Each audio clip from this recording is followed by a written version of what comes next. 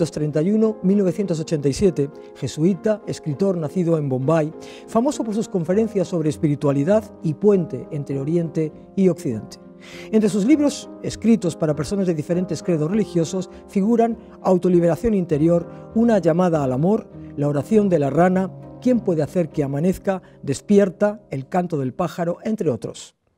Para hablar de Antoni de Melo, hoy contamos con Jesús Callejo Cabo, que ya ha estado con nosotros en anteriores programas para hablarnos de sufismo, de David Neal, Blavatsky, Paramahamsa Yogananda, Wilber, Jung, Huxley, Alan Watts, entre otros. Es colaborador en distintos medios de comunicación, director del programa radiofónico La Escóbula de la Brújula, creador de la iniciativa turística Anima Mundi Rutas por Liberia Mágica y escritor prolífico que tiene en su haber más de una veintena de libros, entre otros Secretos Medievales, Fiestas Sagradas, Misterios de la Edad Media y Sabiduría Ancestral de las Plantas. Buenos días, Jesús. Buenos días, María Teresa. Tony de Melo captó de inmediato que los relatos y los cuentos de la tradición sagrada universal eran válidos para transmitir sus enseñanzas. ¿En qué clase de cuentos y relatos se apoyaba en sus cursos? Hay que tener en cuenta que Tony de Melo utilizó una herramienta fundamental para sus enseñanzas y sus cursos, que eran los cuentos, pero no cuentos de la tradición católica o cristiana, sino todo tipo de cuentos, sobre todo orientales, muchos musulmanes, de la tradición sufi. Es decir, le interesaba muchísimo transmitir su mensaje en los cursos que él daba de espiritualidad, dando como pinceladas de pequeños cuentecitos que él creía que podrían crear o generar una paradoja en el oyente y por tanto despertar. Él estaba obsesionado un poco que teníamos que despertar en el aquí y en el ahora y los cuentos eran una forma muy rápida de transmisión de un tipo de sabiduría que él quería transmitir. De ahí que se caracterizara por, esa, por ese holismo dentro de sus tendencias religiosas. Y tal era así que dentro de todos sus cuentos, ya sabes, se ha citado al principio muchos de sus libros, uno de ellos es El canto del pájaro. En El canto del pájaro, el que da título a ese libro es un cuento muy significativo porque de alguna forma resume muy bien un poco su filosofía. Él se consideraba un contador de cuentos, no lo olvidemos. Él decía que no era ni novelista ni ensayista, sino contador de cuentos. Incluso a veces decía que era un Rolling Stone, un canto rodado y por lo tanto transmitía toda la enseñanza y todas las experiencias que él tenía. Bueno, pues en El canto del pájaro... Eh, un discípulo le pregunta al maestro que por qué siempre habla de Dios si al final es el incognoscible, es el desconocido. Y el maestro le dice, ¿y por qué canta un pájaro? Y dice, un pájaro no canta porque tenga una afirmación que hacer, sino porque tiene que expresar algo. Y por lo tanto, cuando uno habla de una enseñanza profunda, tienes que expresarlo de la mejor manera posible. Y una de las formas más directas, más cercanas, más intuitivas es a través de un cuento, de un cuento de la tradición universal. Tony de Melo viajó por varios lugares del mundo, entre ellos España. ¿Cuál fue la influencia que tuvo y la labor que ejerció en nuestro país? Él estuvo en España muy joven, él tenía 21 años, en 1952 llega a España para estudiar filosofía en Madrid. Y él queda muy influido, por supuesto, por la cultura y las creencias españolas, y también por los ejercicios espirituales de San Ignacio de Loyola. De hecho, él lo, utilizó para sus cursos en Puna, en fin, en distintos lugares de, de, la India. Él conocía perfectamente el español, se expresaba muy bien en español, en inglés, también conocía muchos dialectos de la India. Pero España siempre le marcó hasta el punto de que varios cursos los dio aquí. Un año antes de morir, uno de los cursos de autoliberación los dio en Barcelona precisamente. Así que cada vez que podía se venía a España. Él tenía muchos amigos españoles y la verdad que su forma de ser, sus costumbres le influyeron tanto hasta el punto de que el padre Calvero, por ejemplo, que fue uno de sus grandes mentores espirituales, se influyó también en esos ejercicios espirituales de, de San Ignacio. Y él también conocía, por ejemplo, muy bien la poesía de Antonio Machado.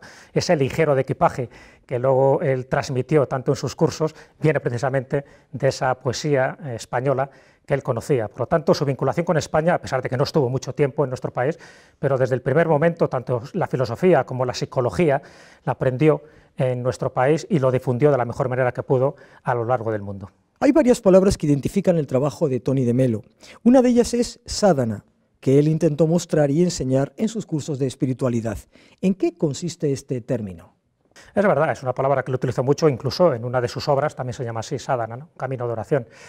Sadhana, como sabes, es una palabra en sánscrito que significa iluminación. Lo que pasa es que él la interpretaba de una forma muy amplia, ¿no? hasta el punto de que bueno, todos sus cursos eh, eran eso, cómo enseñar a orar, pero de una forma directa, ¿no? tanto la acción como la contemplación, hasta el punto de que incluso sadhana es el arte de la contemplación, como así lo definió uno de sus discípulos. En el caso de, de sus cursos de sadhana, lo que intentaba es que todo fuera interactivo. ¿no? Él no quería que fueran solo cursos de espiritualidad donde él soltara un rollo y los demás escucharan, sino que los demás participaran a través de los cuentos, a través de distintos ejercicios. Él conocía perfectamente la psicología transpersonal, conocía la terapia de Rogers, ¿no? del dirigir sin dirigir, lo conocía todo eso. Entonces, eh, en Sadhana sí que mostró un poco lo que eran sus cualidades, lo que era su forma directa de, de convencer o de educar, porque en el fondo eran cursos de espiritualidad para educar un poco el espíritu y la conciencia. Hubo un discípulo que decía que Tony de Melo era Sadhana y Sadhana era Tony de Melo, o sea que realmente había una simbiosis perfecta. Eh, de hecho, uno de los cuentos también que, que él utilizaba en estos cursillos de espiritualidad, de renovación espiritual, era el del maestro que le dice al discípulo, dice, ¿cuándo vas a realizar por fin tus sueños? Y el discípulo dice, pues cuando me llegue la oportunidad. Y el maestro le contesta, la oportunidad nunca llega, la oportunidad siempre está ahí. Bueno, pues eso es algo que intentó transmitir en esos cursos de sadhana y a fe que lo consiguió. En sus cursos y en su propia vida se caracterizaba por sus cualidades de comunicador, su inteligencia y su evidente sentido del humor. ¿Fueron esas las herramientas que propiciaron su éxito? Sin duda alguna. Eh, su sentido del humor, ya sabes que siempre dice que es sinónimo de inteligencia. Él sabía muy bien cómo aplicar ese tipo de técnicas y de conocimientos a su gente, ¿no? a sus discípulos, a las personas que estaban interesadas en, conocer ese mensaje espiritual que él daba. De hecho, en Lolauna, esta localidad de la India, donde él daba sus cursos de sadhana, sus cursos de espiritualidad, de renovación, en fin, siempre utilizaba una serie de técnicas muy efectivas y casi siempre buscando la paradoja, buscando ese contraste para hacer pensar a sus alumnos. ¿no? De ahí un poco ese sentido del humor que le caracterizaba. Cuenta Carlos Vallés, que hizo una biografía suya cuando él muere, que es ligero de equipaje, cuenta varias anécdotas. Y una de las anécdotas que cuenta es que una monjita, que era alumna suya, pues le dio por decir un día que que si interpretaba bien esos garabatos que ya había hecho de los esquemas que realizaba en sus cursos. Entonces, claro, decir la palabra garabatos, él buscaba siempre ese sentido del humor y, dijo, y le dijo algo así como si usted me enseña sus garabatos, yo le enseño mis garabatos. Había una connotación ahí sexual, humorística, lúdica, que la gente lo entendió y así se eliminaban las, tensiones que se generaban ahí. ¿no? Pues digo que eso era muy característico de Tony de Melo, meter esa paradoja, ese sentido del humor, ese chiste, a veces ya digo, con connotaciones sexuales, benéficas, por supuesto, y totalmente blancas, pero porque él sabía que era una válvula de escape. ¿no? De hecho, uno de los cuentecillos que él cuenta también en este tipo de cursos y que lo expresa en sus libros es el de el maestro que llega a iluminarse. Él obtiene la iluminación suprema y un discípulo le pregunta, Dice, maestro, ¿cómo era usted antes de iluminarse? Dice, yo era una persona normal que tenía una gran depresión. Dice, y después de iluminarse, dice, sigo con la misma depresión. Bueno, pues ese tipo de cuentos que realmente contrastan un poco con la realidad es lo que hacían pensar como si fueran cuentecillos zen, esos koan zen, para probar un, que hubiera un cortocircuito en el alumno y realmente meditara sobre el mensaje profundo que se intentaba dar. Sin ese sentido del humor, desde luego, no hubiera llegado como llegaba al corazón y a la mente de sus alumnos. Don't take me on faith. What I want you to do is question everything I'm saying, uh, think about it, come back at me. Feel free to do that. See, even while I'm talking, ask questions, raise your hand anytime. I'd be happy to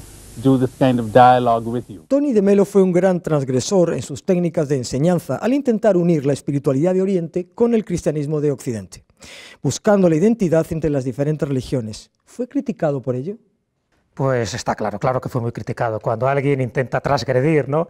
distintos métodos formales de la enseñanza católica, pues le critican. Primero ya por el hecho de incluir cuentos de distintas tradiciones como es la judía, la musulmana, la budista, la taoísta, etc. Pero por otra parte, porque, y así era reconocido por sus discípulos, él era muy buen cristiano, pero era mal católico. ¿Qué quiere decir? Él conocía muy bien el mensaje de, Jesucristo, lo transmitía y además lo transmitía de una forma perfecta, pero no estaba muy de acuerdo con las enseñanzas dogmáticas de la Iglesia y menos del Vaticano. Eso le generó muchísimas críticas y muchísimos enemigos, no solo dentro de los jesuitas, sino de la Iglesia en general. Y él lo decía, dice, la Iglesia Católica no hay que tomársela muy en serio. O sea, reconocía perfectamente que le estaban dando palos por todas las direcciones, pero aún así él seguía transmitiendo su verdad porque pensaba la religión no tiene que ser dogmática, que si quería llegar a más gente no puede decir que la religión católica era la única verdadera, que todas las religiones al final tenían un sustrato común y que todas iban a lo mismo, ¿no? hacer al hombre mucho más bueno y mucho más libre. Hasta el punto, fíjate, que cuando él muere y se empiezan a publicar, reeditar sus obras y publicar obras nuevas, en la Congregación para la Doctrina de la Fe, que por entonces era Joseph Ratzinger, él quiso que en todos los libros de Tony de Melo apareciera una notita diciendo que eh, las obras de Tony de Melo tenían conceptos que podían ser incompatibles con la fe católica y que podían dañar la fe. Entonces, claro, ese tipo de notas por parte de la Iglesia, en este caso por la Congregación de la Doctrina de la Fe, que sabes que era la antigua Inquisición, pues no le hizo demasiado bien. Sin embargo, aquel que lee esas obras y escucha sus cursos, pues te das cuenta que efectivamente era de todo menos dogmático. O sea, luchó contra eso y sin embargo el sistema, ese sistema cristiano y católico, pues intentó acallar su voz, cosa que evidentemente no ha conseguido. Cuando muere en 1987 de un fulminante ataque al corazón, estaba en su mejor etapa. ¿Era consciente de su próximo fallecimiento y de la gran labor que estaba haciendo? De su fallecimiento no creo que fuera consciente, pero de la gran labor que estaba haciendo totalmente seguro. De hecho, cuando él muere, además muere, ya digo, como tú lo bien dices, de forma muy rápida, no, no le da tiempo prácticamente a nada más, son de esos infartos de miocardio terribles, pero el día antes, él muere el 1 de junio, además estaba en un hotel de Nueva York preparando la conferencia, el curso que iba a dar al día siguiente, pero al día siguiente él se estaba comunicando con un amigo suyo. Y esas frases que le está diciendo a un amigo suyo, para que veas un poco cómo funciona el inconsciente, él por supuesto no sabía que iba a morir, pero sí le estaba comunicando a este amigo que estaba en un gran momento, que era lo que le importaba era el mundo del espíritu, que no le importaba nada más, es decir, que no le importaba las cuestiones banales y que ahora se sentía realmente un hombre feliz y un hombre libre. Claro, eso es muy importante, ¿no? porque esa sensación de libertad que él tenía estaba en consonancia con algo que le preguntaron eh, meses antes, le preguntaron, dice, bueno, cuando usted muera, ¿cómo le gustaría ser recordado? Y él dice, hombre, mira, cuando yo estaba, en fin, como aprendí de estos ejercicios espirituales, cuando yo quería ser algo un poco en la vida, dice, a mí me hubiera gustado que me hubieran recordado como un santo. Dice, luego, posteriormente, cuando fui creciendo, fui cumpliendo años, ya no me gustaba que me consideraran un santo, sino que me hubieran considerado como un hombre de gran corazón. Dice, pero ahora, en el momento que estoy de mi vida, ahora me gustaría que me recordaran como un hombre libre. Bueno, pues efectivamente, ese ligero de equipaje, como así lo decía, ¿no? de que hay que ir siempre por la vida ligero de equipaje porque nunca sabes cuándo te va a llegar la muerte, realmente a él le pasó lo mismo. Es decir, él muere, tenía mucho que decir, de hecho al año siguiente pensaba pasar por Madrid para dar un curso, tenía muchísimos planes, ir dos veces a América, sin embargo le pilló, le pilló la muerte en el sitio que a lo mejor él menos esperaba, pero le pilló como él quería, ligero de equipaje, y le pilló con ese tipo de enseñanza, con ese bagaje, que al final dio fruto incluso después de muerte, de muerto. Por lo tanto, yo no sé si él era consciente de que iba a morir, pero sí que era consciente de que su mensaje estaba llegando a muchísimas personas y que su mensaje era imperecedero, como así lo ha demostrado la historia, como así lo ha demostrado este programa, el hecho de que estemos hablando de él. Tony de Melo era un gran contador de historias. Me gustaría que dijeras una de las que contó en alguno de sus libros. Mira, yo tengo prácticamente todos sus libros y, como sabes, va espigando distintos cuentecitos que a mí me encantan, ¿no? porque de hecho en el programa de radio que yo tengo también incluyendo muchos cuentos de Tony de Melo porque me parece que son geniales y muy directos ¿no? para contar determinadas verdades, son pequeñas joyitas filosóficas. Pero uno del que tenía como mucha afición y lo contaba con cierta facilidad, incluso le preguntaron cuál era su cuento favorito, es este que te voy a contar y por algo sería, ¿no? a lo mejor por el tipo de enseñanza que se transmite. Él cuenta que había un gurú que bueno, pues era un viajero, una especie de, monje medicante, que se encuentra con otro viajero por el camino, pero antes de encontrarse con este viajero había localizado una piedra preciosa que había metido en su zurrón. Él sigue su camino, se encuentra con un viajero y bueno, cuando quiere compartir sus viandas, este viajero ve que tiene una piedra preciosa en ese zurrón. Y el viajero directamente le dice a este monje, a este gurú, dice, oye, ¿por qué no me regalas esta piedra preciosa? Y el monje, en lugar de rechistar, en lugar de protestar, se lo regala de una forma directa.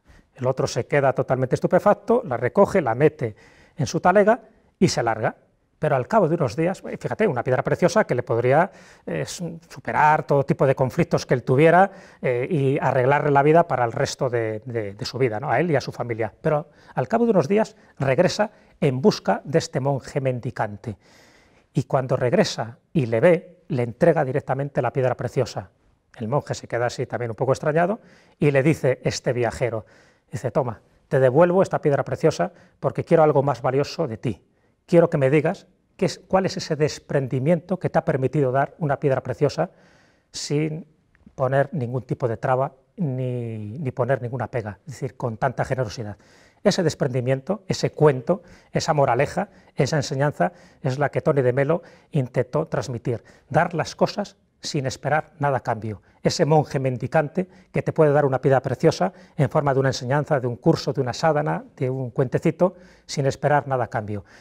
La felicidad que se consigue y la libertad que se logra, eso es la piedra preciosa que de alguna forma queda reflejada en este pequeño cuento que para Tony de Melo era su favorito. Hasta aquí el programa de hoy. Gracias Jesús. Cuento contigo para próximos programas. Gracias María Teresa. De quién puede hacer que amanezca de Tony de Melo es este breve cuento. A los discípulos que deseaban saber qué clase de meditación practicaba él todas las mañanas en el jardín, les dijo al maestro, si observo con atención veo el rosal en plena floración. ¿Y por qué hay que observar con atención para ver el rosal? Para ver el rosal, dijo el maestro, y no la idea preconcebida que uno tiene del rosal.